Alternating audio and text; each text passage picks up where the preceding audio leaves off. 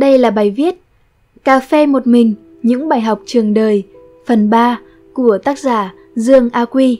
Còn mình là Khánh Linh, chúng ta cùng bắt đầu nhé.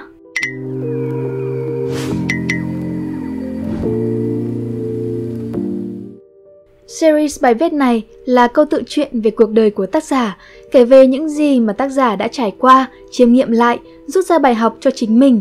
Trong quá trình viết bài, khó tránh khỏi việc có những góc nhìn hạn chế về một người, một tổ chức hay một công việc, dù đã hạn chế việc nói cụ thể vào đối tượng, mong nhận được sự thông cảm. Hiện các bài viết được chia sẻ thành nhiều phần nhỏ để thuận tiện trong việc viết bài của tác giả. Mình sẽ cố gắng viết nhiều hơn trong một phần để tránh bị loãng bài. Việc tổng hợp các bài viết thành một bài duy nhất sẽ được cân nhắc sau khi hoàn thiện series này. Cảm ơn các bạn đã theo dõi. Have fun! Bài học 6. Yêu xa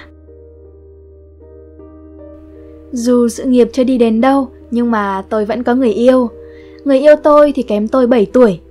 Tại cái thời điểm đó, khi mà tôi nghỉ việc để theo học ông anh, thì cô ấy đang học xa nhà. Gọi là xa thôi, chứ khoảng cách cũng chỉ tầm độ 50 km, cỡ khoảng một tiếng rưỡi đi xe máy. Cuối tuần nào hai đứa cũng gặp nhau, nếu không phải cô ấy về Hà Nội gặp thì tôi cũng phóng xe lên trường. Ban đầu tôi thấy cũng khá là mệt mỏi vì điều này, nhưng áp lực từ công việc rồi tiền bạc, giờ lại phải dành cả thời gian công sức để tới thăm cô ấy nữa. Cô ấy thì thuộc kiểu người nghịch ngợm, hồn nhiên, vô tư, đó là cái điều mà đã cuốn hút tôi, là lý do mà tôi yêu cô ấy, mà nó cũng khiến tôi lo lắng. Ở trường, cô ấy có rất nhiều người thích và theo đuổi. Tôi biết hết những người đó, từ thầy giáo, bạn cùng lớp, rồi bạn khác trường, thậm chí là đến cả từ mạng xã hội nữa. Có thể nói cô ấy cũng khá là xinh xắn cho nên là mới thu hút nhiều người đến như thế. Tôi là đàn ông mà, cho nên tôi biết rõ những người kia muốn gì từ cô ấy. Tôi xuất hiện ngang nhiên trước mặt họ để cho họ thấy rằng cô ấy đã có người yêu. Thế nhưng mà bọn họ vẫn không chịu từ bỏ. Nhiều người nói với tôi là Sao mày chịu được cái điều đấy? Bố mẹ tôi thì cho rằng việc cứ cuối tuần đi về 100 km là mệt mỏi và nguy hiểm. Ông anh họ tôi thì cho rằng Việc gì mà phải khổ đến như thế? Ông anh xã hội tôi thì lại nói Làm sao mà tin tưởng được một tuần có hai ngày mày ở với nó Còn năm ngày kia thì sao? Đỉnh điểm có một vụ mà tôi nhớ mãi Đó là có một anh chàng um, Tạm gọi là anh chàng đi Vì nó kém người yêu tôi 2 tuổi Tức là kém tôi tới 9 tuổi Anh chàng này thì muốn tán người yêu tôi Dù biết tôi là người yêu cô ấy thì cậu ta vẫn dám đi cùng chúng tôi khi tôi đưa cô ấy từ trường về nhà vào một dịp cuối tuần. Nếu hỏi tôi có ghen không thì chắc chắn là tôi có, thế nhưng mà tôi không thể hiện ra trước mặt anh chàng này. Về tới nhà, khi chỉ có hai đứa với nhau, tôi mới nói rõ cho cô ấy biết là tôi rất khó chịu và tôi muốn cô ấy hãy nghiêm túc về chuyện này, rằng như vậy là đủ rồi, đừng chơi đùa với tình cảm của người khác nữa. Bởi vì cô ấy thì còn trẻ, còn hồn nhiên và nghĩ rằng là được nhiều chàng trai theo đuổi thì thú vị lắm. Tôi thì tôi hiểu điều đó, rất hiểu, bởi vì tôi thì cũng từng như vậy. Tôi đã trải qua và tôi đã thấy kết cục dành cho mình.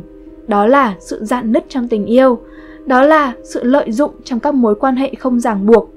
Người ta chỉ đến vì tình dục hoặc vì lợi dụng được điều gì đó, chứ người ta không có chút trách nhiệm nào cả. Người ta dễ dàng phủi tay, quay đầu khi đã đạt được mục đích. Người ta sẽ không tin tưởng, không kiên trì, không có mặt những khi mình thật sự cần họ. Tôi cố tình cho phép cô ấy được nếm trải cảm giác đó, để khi tôi nói ra thì cô ấy có thể hiểu được.